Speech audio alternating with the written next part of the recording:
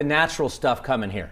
Yeah, someone was just mentioning to me on social media, they were like, it rained for all of 15 minutes, just enough to mess up my plans to mow the lawn. You're absolutely right. That's the type of weather pattern we're in. It's almost kind of like the island life, and I refer to that as the Caribbean, you know, where you get those on and off downpours at almost any time. That's basically what we're dealing with around here, and that's not going to change for about another two days. I do see a light at the end of the tunnel, but we've still got a couple of days worth of wet weather left in us before things begin to change. All right, outside right now, this is basically what I'm talking about. Notice the only downpour I was tracking 15 minutes ago was this one moving out of Franklin County up towards Connersville and Liberty. But look what's happened in the past five minutes. New downpours starting to go up across parts of Butler County, and I suspect it looks like a couple more trying to go up down through parts of Dearborn, Ohio, and Switzerland County. So right now, this big downpour moving over the Connersville area. Not terribly worried about severe weather this evening. I won't rule out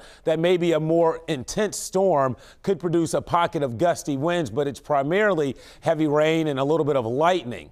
Now, the greatest concentration of showers and storms is well out to our west, but like little spokes of energy rotating through the Ohio Valley. You get add a little daytime heating, a couple of hours of sunshine like we've had over us right now. It's been dry for a few hours for a good number of us, and that's all it takes to help ignite new downpours, especially when you look at what's happening down here in the direction of Louisville tonight. Another little piece of energy likely to rotate up and probably help to spark more showers and downpours. It's a cycle. You can see we had one come through around lunchtime. We've had a a few hours to dry out. Here comes the next one preparing to uh, kind of basically rotate its way through as all of this is spinning around a big storm center in Illinois. It's been parked here since the weekend, and basically you've got a wide open Gulf of Mexico. That's why it's so humid out there.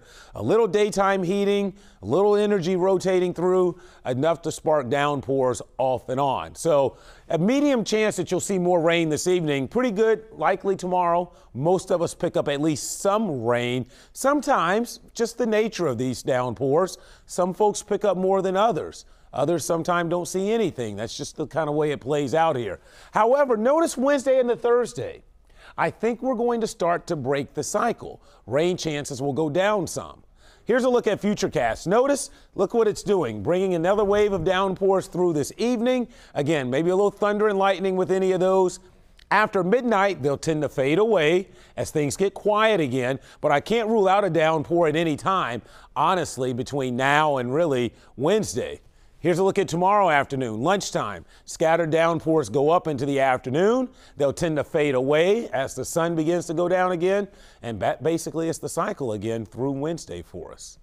So outside right now, we've got some muggy sunshine, and that's helping to fuel the next round of downpours. 83 officially at the airport. Temperatures around the area are in the low to mid 80s for most of us since we've had about two or three hours of dry weather, as warm as 86 in Hyde Park, 85 currently in Delhi. So we'll be around 80 through the evening then slip into the 70s, briefly get down to 69 tonight with scattered downpours, a humid night. Then tomorrow, a few morning downpours and then scattered storms in the afternoon. It's the same cycle. We'll top out right around 80 degrees again. Again, the coverage of rain will tend to be greatest during the afternoon and evenings. Your seven day forecast shaping up like this here. A little bit drier Wednesday into Thursday, but then it looks like we've got a big rainmaker maybe again for the upcoming weekend.